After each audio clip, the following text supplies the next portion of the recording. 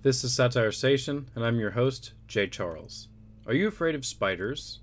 If you are, then you'll be happy to know that a certain cheeseburger challenge just ended on the last day of April. A restaurant in North Carolina by the name Bull City Burger and Brewery just celebrated its sixth annual Exotic Meat Month, which featured meals with animals like alligators, iguanas, pythons, turtles, and insects.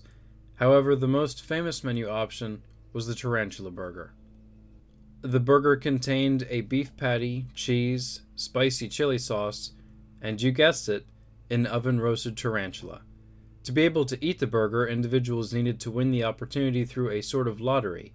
They would put $30 and their name on a raffle ticket in hopes of their name being drawn so they could take part in the Tarantula Challenge. And if they can finish the whole burger, they win the Tarantula Challenge t shirt. Anthony, age 17, who's a contestant that has eaten the tarantula burger every year for the past three years, said, quote, Once I actually put aside the fact that it was a spider, once I ate it, it wasn't bad. It was really crunchy. End quote. The owner of the restaurant, whose name is, ironically, Seth Gross, said, quote, It's everybody. We've had kids, adults, I mean every type of person. There's something thrilling about eating your fear. End quote. Although I have to admit, if I tried the tarantula burger, I would probably start bugging out.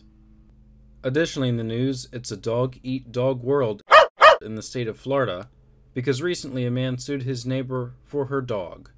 It all started when a Florida resident, David Somerville, age 68, had lung cancer surgery, so his neighbor, Tina Walker, age 53, took care of him for two and a half years while he recovered. During this period of time, Tina would bring over her dog to David's house for added companionship. But things took a turn for the worse after Tina went on vacation, at which time David watched her dog. After Tina returned, David asked if he could adopt her dog, to which Tina declined, and had her dog microchipped and kept her dog away from David. So David, being the grateful neighbor that he was after Tina took care of him for two and a half years, sued her for her dog. David argued he had the right to be the owner of the dog because he spent a great deal of time with it, paid for the vet bills, food, and dog toys. Which makes you think, couldn't he have just been grateful and just considered that a thank you for Tina taking care of him for the last two and a half years? So, of course, the ruling is joint custody of the dog because the judge said, quote, Both parties have spent a great deal of time with the dog. Witnesses say the dog shows great affection to both his humans. End quote. So, if you're in the state of Florida walking your dog and a stranger comes up and makes a connection, watch out, because according to this judge, you might have to share your dog with that stranger. If we're going to go off time spent with dogs, though, shouldn't Tina, the actual owner of the dog, win the case?